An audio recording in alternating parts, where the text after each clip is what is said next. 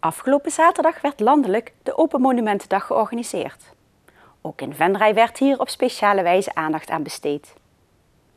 De dag startte met een lezing in het pand van Odeon, de gezamenlijke muziekvereniging van Sint-Petersbande en Euterpe. Zij maken sinds kort gebruik van het totaal gerenoveerde monumentale pand. Odeon is één van de monumenten in Venray, waar bezoekers afgelopen zaterdag ook een kijkje konden nemen. Een ander monumentaal pand dat kon worden bezocht was het Dr. Poelshuis. Dit Rijksmonument had zaterdag een primeur. Als allereerste monument in Nederland kreeg het Dr. Poelshuis het nieuwe Rijksmonumentenbordje dat de dag daarvoor nog door minister Bussemaker was gepresenteerd.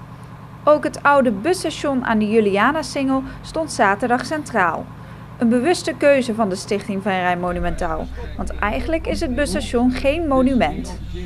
Nee, het is geen monument, maar het is een voor wel uniek gebouw. En in de tijd dat het gebouwd werd, begin jaren 60, was het echt een primeur voor Nederland. Dat kun je ook zien hier op de, op de informatiepanelen. En het, het zou toch jammer zijn als, als ze hier niet een nieuwe herbestemming voor zouden kunnen vinden. De stichting zet zich in voor het behoud en de onderhoud van de monumenten in Venray. Op een dag als de Open Monumentendag kunnen ook bezoekers zien wat het belang van een monument is. Monumenten eh, zijn een, een sieraad voor je stad. Het, het, bepaalt mede de sfeer. En daarom is het ook van belang dat die, dat die eh, behouden uh, blijven. Ter gelegenheid van het thema van deze Open Monumentendag op reis had de organisatie een bijzonder vervoersmiddel geregeld die vanaf het busstation een hop-on, hop-off route maakte langs alle monumenten. Namelijk een Amerikaanse oldtimerbus uit 1948.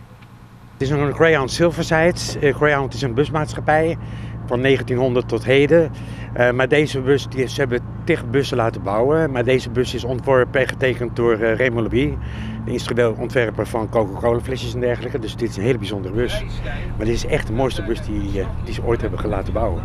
En ik heb er net in gezeten, hij zit eigenlijk nog comfortabeler dan de Nederlandse bussen. Hij zit comfortabeler als de duurste VIP-bus. En ik heb wel eens bobo's in die bus die zeggen van nou, deze bus die zit veel lekkerder. En hij heeft een Detroit, uh, Detroit motor, dat is een tweetakt diesel. Dus vandaar dat hij die helemaal mooie zware geluid maakt. En de bus zat vanaf de eerste route al bijna vol. Tijdens de route gaf een gids van het Royce Gidsengilde uitgebreide informatie over onder andere het Sint-Anna-terrein, de molen in Merselo en de ballonzuilbossen.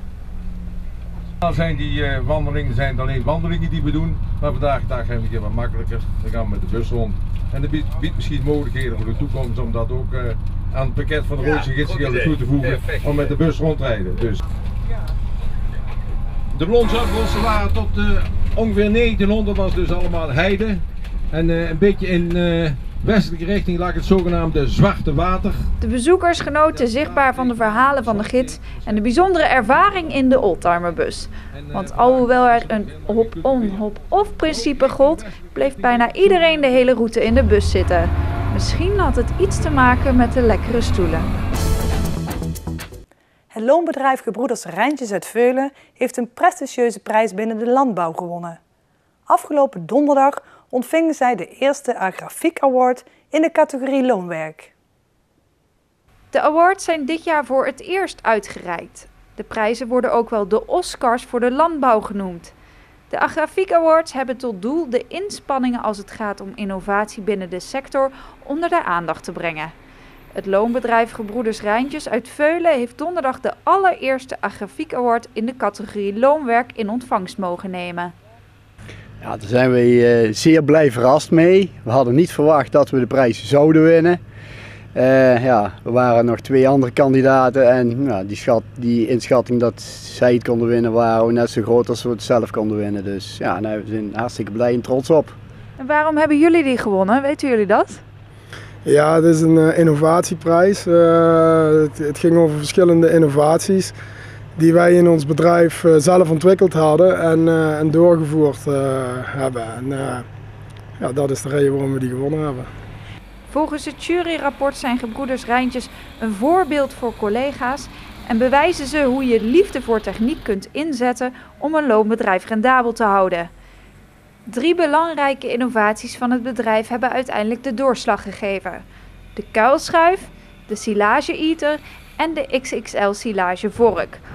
Allemaal oplossingen die bedacht en ontwikkeld zijn op het bedrijf van Frank en Henry Rijntjes.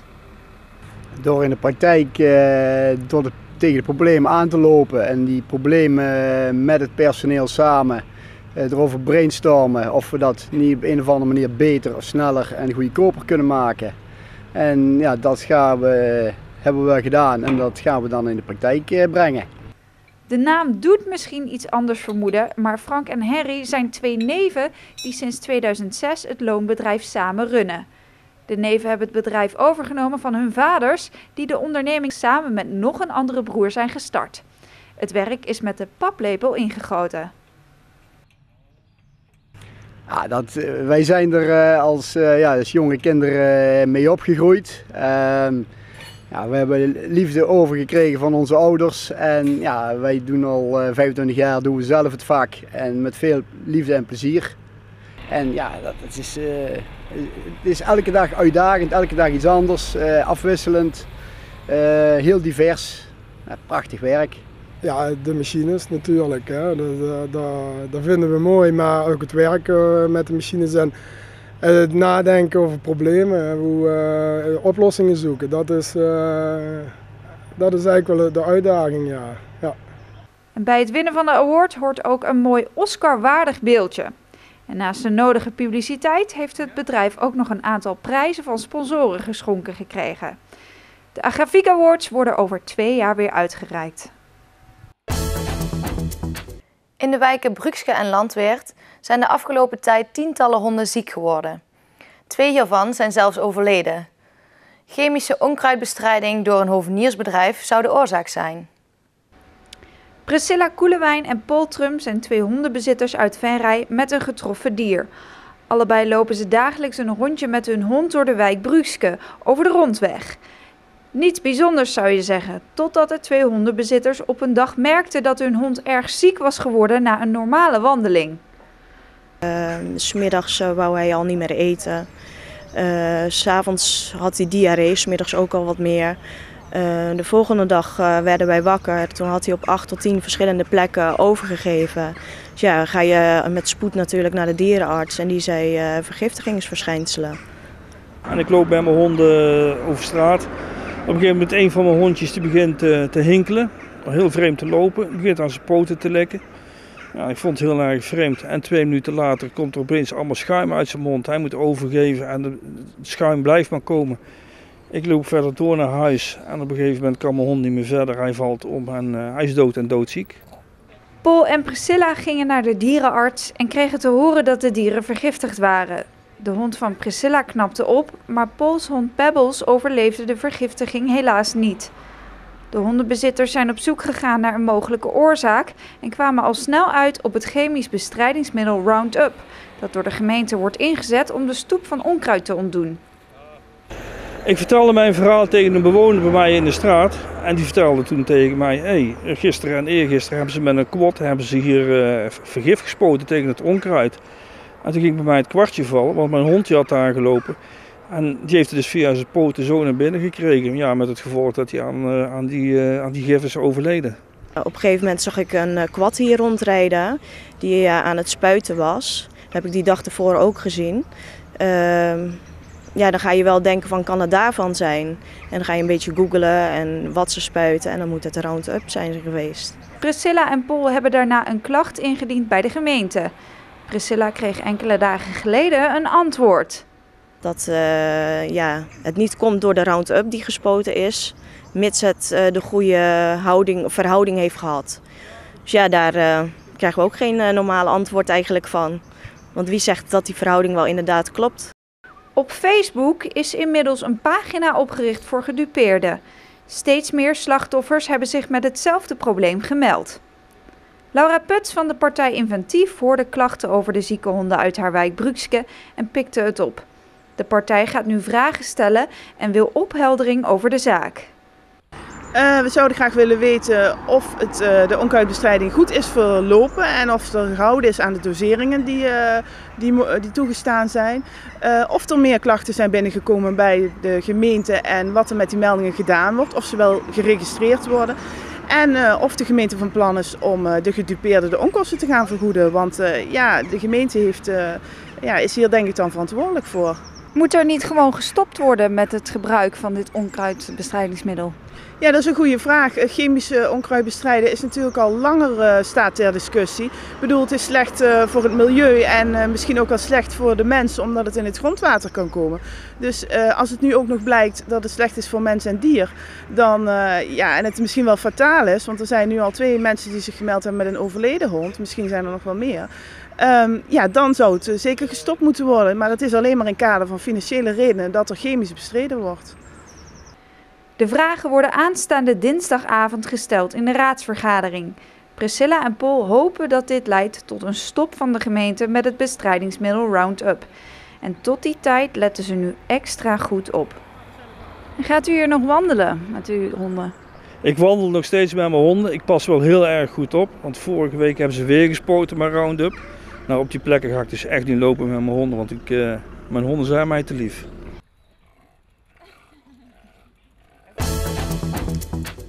Vanmorgen ging de derde landelijke Keep It Clean Day van start in Venray. Het aantal deelnemers is gestegen van 800 in 2012 naar 1600 deelnemers dit jaar. Ook basisschool De Bongert nam deel aan deze dag, waarvoor wethouder Uitbusser het startsein gaf. Jong geleerd is oud gedaan. Maar ik denk dat het heel belangrijk is dat kinderen meedoen, omdat ze zich bewust worden van het belang van een schone omgeving. Zwerfvuil in Venray blijft een punt van aandacht. Het organiseren van een Keep It Clean Day blijft nodig. Nou, het probleem van afval op dit moment is dat we nogal wat zwerfvuil hebben. Mensen dingen weggooien. Uh, ja, er wat onachtzaam mee omgaan dat er iets wegwaait en dat, uh, dat even niet achterna gaan om het op te halen. En al met al kost dat ons als Venrayse gemeenschap 2,5 ton per jaar. Dus dat zijn 250.000 euro voor 43.000 inwoners. Nou, als we dat kunnen uitsparen met z'n allen door een beetje alert te zijn en dat papiertje in de zak te steken of het blikje mee naar huis te nemen, nou, dan hebben we al heel veel gewonnen. Niet overal is evenveel zwerfafval te vinden.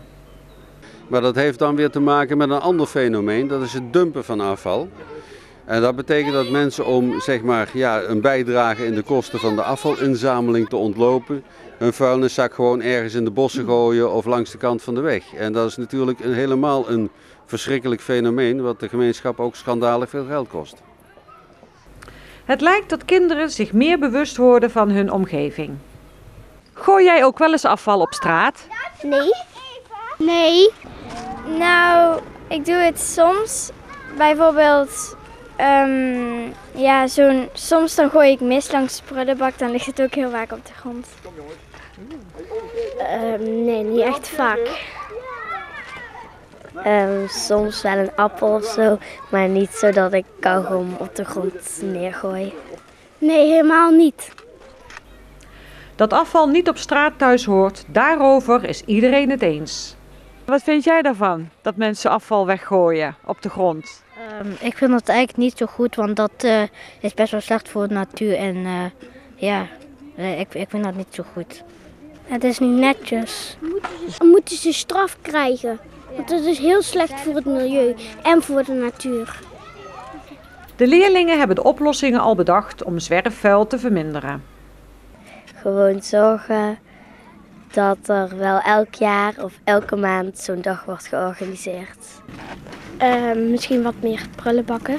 Ik denk um, dat, ja, dat, ze, dat er gewoon meer mensen van de gemeente moeten prikken en ook meer prullenbakken komen. Het totaal verzamelde afval wordt dit jaar gewogen. Volgend jaar wordt opnieuw de Keep It Clean Day georganiseerd.